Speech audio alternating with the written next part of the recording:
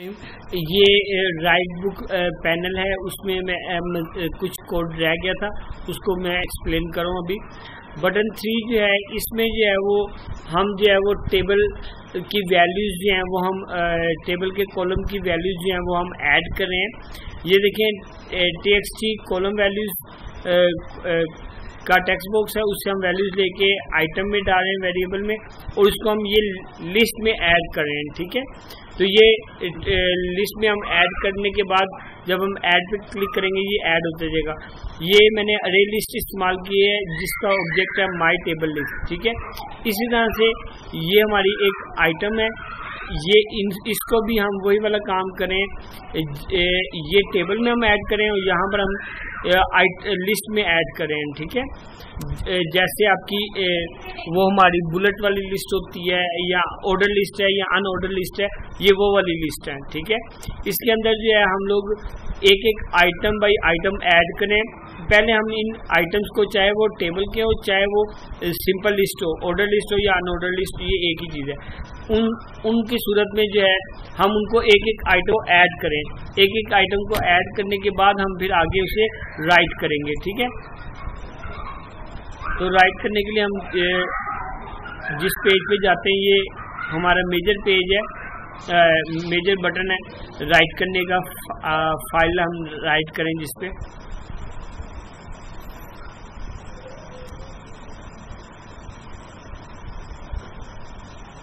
जी ये button number seven जो है इसमें हम राइट करें। सबसे पहले बुक का टाइटल लिया और फोल्डर का नाम उस जिस बुक आ, का टाइटल होगा उसी के लिहाज से हम उसका एक फ़ोल्डर बना लेंगे और रूट फोल्डर जो है माई बुक माई बुक्स का एक रूट फोल्डर होगा। उसके अंदर जो है हम अपनी बुक्स ऐड करते जाएँगे, ठीक है? उसके अंदर जो है वो हमारी, जो है वो बुक का बुक का टाइटल आ जाएगा डायरेक्टरी अगर एग्जिस्ट कर रही है तो ठीक है, नहीं करी तो वो हम उसे दोबारा क्रिएट कर लेंगे। और उस रूट डायरेक्टरी के अंदर सब डायरेक्टरी हम ऐड करें, ठीक है?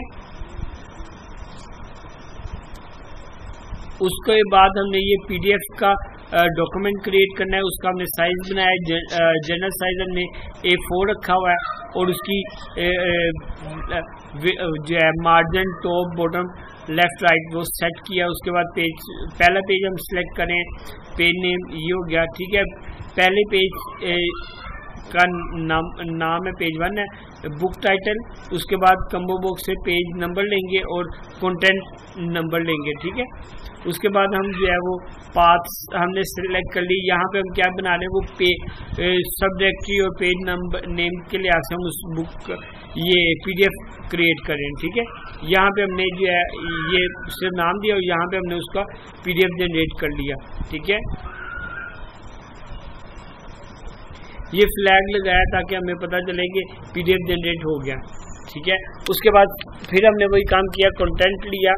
कंटेंट कम्बो बॉक्स से लिया कंटेंट देखिए, अब हमने राइट करना है। अगर पैराग्राफ का कंटेंट है हमारे पास तो डॉक्यूमेंट को ओपन करना है टेक्स्ट पैराग्राफ से लेके इस वेरिएबल पैराग्राफ में डालना है और यहाँ पे हमने, यहाँ पे ऐड करें। ये पैराग्राफ का ऑब्जेक्ट बनाया पी वन और यहाँ पे हम उसे ऐड करें। यहाँ पर उस पीडीएफ के अंदर हमारा पैराग्राफ राइट हो जाएगा और हम उस डॉक्यूमेंट को क्लोज कर देंगे और पैराग्राफ इज़ रिटर्न ये मेंशन कर देंगे। इसी तरह से अगर लिंक का होगा तो लिंक ओपन हो जाएगा। ठीक है? और उसके बाद जो है वो हम जो है वो उसका ये फ़ोन सेलेक्ट करेंगे, उसका कलर चेंज करेंगे, ठीक है? और लिंक जो है वो हम उसे सेव करवा देंगे। यहाँ पे ये जो है, यहाँ यहाँ पे हम उसे लिंक को से डॉक्यूमेंट में राइट करवा रहे हैं और सेट अंडरलाइन इसको हम अंडरलाइन भी कर देंगे। आमतौर पे लिंक के नीचे लाइन होती है, इसलिए मैं इसको यूज़ करूँ ठीक है? और हम उसका मैसेज दे देंगे डॉक्यूमेंट इज़ रिटर्न इसी तरह से अब आ जाए टेबल की तरफ़। अभी आपको याद है, हमने टेबल ऐड किए थे। वो टेबल की एक एक कॉलम की वैल्यू ऐड कर रहे थे हम, ठीक है? अब हमने पैनल टेबल को विजिबल किया। ये जो उसके एक एक कॉलम की वैल्यू कहाँ पे पड़ी हुई है? एक एक कॉलम की वैल्यू पड़ी हुई है उसकी अरे के अंदर अरे लिस्ट के अंदर। वहाँ से एक एक कॉलम के लिए हम चलेंगे और आपको पता है आपने ये प्रोग्रामिंग में पढ़ा होगा कि टेबल के एक को, जो है ना कॉलम को बताना रो को बताना ला, लाजिम नहीं है कॉलम को बताना लाजिम है। तो वो उसके लिहाज से उसके पीसेस करता जाएगा ठीक है? ये हमने कॉलम का कॉन्टेक्स्ट जो है वो इसमें आ जाएगा सी में। उसके बाद हमने उसको देखा नंबर ऑफ़ कॉलम्स कितने हैं। उसके बाद हेडिंग देखी तो वो डॉक्यूमेंट को ओपन किया। ये पीडीएफ टेबल की क्लास है, उसका ऑब्जेक्ट है, बनाया टेबल का, और उसके हमने एक सेल वाइज उसमें कॉलम ऐड करते जा रहे हैं। अब यहाँ पे ये ज़रूरी है, हमने नंबर ऑफ़ कॉलम्स बता दिए कि एक रो के अंदर मिसाल के तौर पर तीन कॉलम है तो हमने बता दी कि तीन कॉलम वाली चीज़ बनानी है। तो वो उतने कॉलम डाटा आता जाएगा, उसके पहले पहला तीन डाटा आएगा तो पहली पहली रो बन जाएगी। फिर अगला तीन डाटा आएगा तो दूसरी रो बन जाएगी। ऐसे करके ये काम कर रहा है। ठीक है? तो ये उसका तरीक़ेकार है। यहाँ पे हम सेल को ऐड करें। सेल से मुराद दें एक कॉलम की वैल्यू जो हम उसके अंदर ऐड करें ठीक है?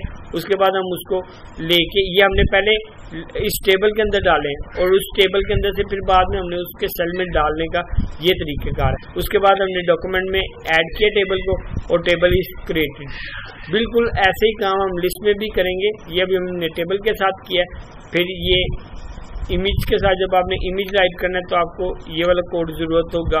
उसमें आपको पेज का पाथ चाहिए। पेज का जहाँ पे आपका इमेज पड़ा है ये उसका बात है, और उस इमेज को हमने आईडेक्स चार्ट इमेज के ज़रिए जो है हमने ऐड करवा दी, इस पेज के अंदर करवा दिया डॉक्यूमेंट इज़ रिटर्न ठीक है?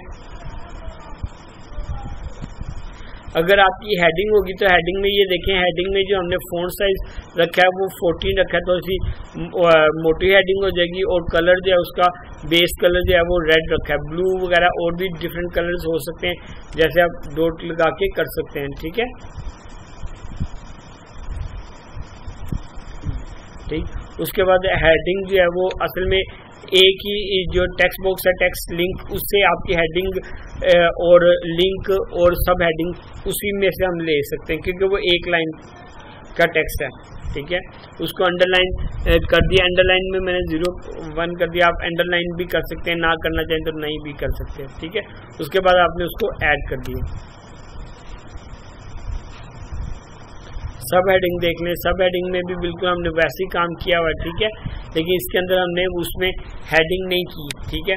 और इसका साइज़ जो है वो हमने 12 रखा हुआ है और टाइम रोमन उसका और कलर उसका ए, राइटिंग का कलर जो है वो ब्लैक है जिसको आप फोर कलर कहते हैं ठीक है? उसके बाद चार्ट है ये चार्ट का स्पेशल काम है ये चार्ट जो है वो हम इमेज भी हम एंटर कर सकते हैं और वैसे भी हम बना सकते हैं, जो मैंने पहला तरीका बताया था। दोनों तरीकों से मैंने काम किया हुआ, ठीक है? ये इमेज ऐड कर सकते हैं और अगर आप डायरेक्ट करना चाहें, वहाँ पे भी ऐड कर सकते हैं। ये रेफरेंस वीडियोस हैं, ताकि आपकी हेल्प के लिए आप इन वीडियोस को भी विज़िट कर सकते हैं लिंक से, जहाँ से मैंने रेफरेंस लिए हैं, ठीक है? यहाँ पे हम वीडियो फ़ाइल लेंगे और उसके बाद जो है हम वो पैनल लिंक को विजिबल कर देंगे, जो भी वीडियो की, उसको ये जो है, इस पीडीएफ फ़ाइल बनाएँगे वीडियो की पीडीएफ फ़ाइल उसको राइट करवाएँगे। राइट करवाने के बाद हम उसको पीडीएफ की सूरत में उसे राइट हाँ पीडीएफ की सूरत में पीडीएफ में हम उसे बाइंडी की सूरत में राइट करवाएँगे। राइट करवाने के बाद हम उसके कनेक्शन को क्लोज कर देंगे। एनिमेशन भी हम बिल्कुल वैसे ही करते हैं जैसे पीडीएफ करते हैं दरअसल उसमें सिर्फ़ जो है ना वो आ, उसके साइज़ का डिफरेंस होता है ठीक है? वरना वही चीज़ हम वीडियो में भी कर सकते हैं। अभी मैंने पहले आपको आ, टेबल के बारे में बताया था टेबल में से हमारा डाटा आ रहा था में से इसी तरह से यहाँ पे भी अरे लिस्ट में से आ रहा था टेबल एक दूसरी अरे लिस्ट बनाई थी वो लिस्ट के लिए बनाई थी ठीक है? तो सबसे पहले हम आ, लिस्ट टाइप चूज़ करेंगे जब आपने लिस्ट लगानी है। जैसे ऑर्डर लिस्ट लगानी है अनऑर्डर लिस्ट लगानी है, और हमने उसका लिस्ट का एक ऑब्जेक्ट बनाया। फिर हमने उसको, जो भी हमने लिस्ट का हमने ऑब्जेक्ट क्रिएट किया और उसको बताया कि अनऑर्डर लिस्ट बनानी है तो ये ऑब्जेक्ट को इनिशलाइज कराया। उस लिस्ट वो वैल्यू से ठीक है? अनऑर्डर लिस्ट है अल्फ़ाबेट है लोअर केस है न्यूमेरिक है ऑर्डर है अपर केस है अनऑर्डर लिस्ट है, ठीक है? ये आप इस नाम की लिस्ट आप इसमें जनरेट कर सकते हैं। देन ये एक छोटा सा काम हमने किया है हमने अरे लिस्ट में पहले आइटम डाली है इस लिस्ट के अंदर ठीक है। इस लिस्ट से वैल्यू आप इसके अंदर ऐड कर रहे हैं ठीक है? अरे लिस्ट से वैल्यू आपकी सिंपल लिस्ट के अंदर आ रही है और यहाँ पर आप उसे फिर बाद में डॉक्यूमेंट में राइट करें। यहाँ पे पहले अरे लिस्ट से वैल्यू आ रही है लिस्ट के अंदर और फिर उस लिस्ट को जो है आप डॉक्यूमेंट में राइट करें। ये थोड़ा सा इम्पोर्टेंट काम था, ये हमने कर लिया। इस तरह से हमारा काम कर रहा है। अच्छा उसके बाद जो है ये तो हमने काम किया हुआ है। उसके बाद जो बहुत ही ज़्यादा इम्पोर्टेंट काम है, वो यहाँ है, एक काम। वो ये है कि अब आपने एक पेज के डिफरेंट कंटेंट्स बना लिए और इसी तरह से आप और भी ज़्यादा पेजेस जनरेट कर सकते हैं, उनके डिफरेंट कंटेंट्स बना सकते हैं। फिर आपने जब उसको बुक राइट करनी तो वो सारे पेजेस को आपने जो कंबाइन करके एक बुक बनानी है और आपने उससे शो करवाना है। तो ये दरअसल ये जो काम है, इसको कहते हैं मर्ज करना, ठीक है? तो मर्ज करने के लिए हम सबसे पहले एक फ़ंक्शन यूज़ करें। बटन नाइन पे मैं बाद में आता हूँ, मैं पहले फ़ंक्शन पढ़ाता हूँ। ये गेट गेट फाइल्स का फ़ंक्शन है। इसके अंदर हम क्या करेंगे?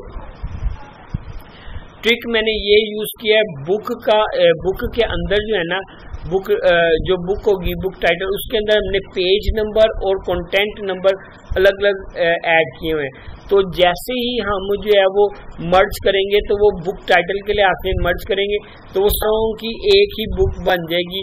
और उस फोल्डर के अंदर बुक टाइटल का मैंने इसलिए एक ही फोल्डर बनाया था। उस फोल्डर के अंदर जितनी भी फाइल्स होंगी, वो सारी मर्ज होके एक बुक की बन जाएगी। मिसाल के तौर पे मैं आपको बताता हूँ कि C S two zero one मेरा एक सब्जेक्ट है तो मैंने C S two zero one लिया। अब C S two zero one का पहला पेज है, और कंटेंट वन है। वो एक चीज़, फिर दूसरा पेज कंटेंट टू तीसरा पेज कंटेंट थ्री या उसके आप जितने भी कंटेंट ऐड करना चाहें कर ले।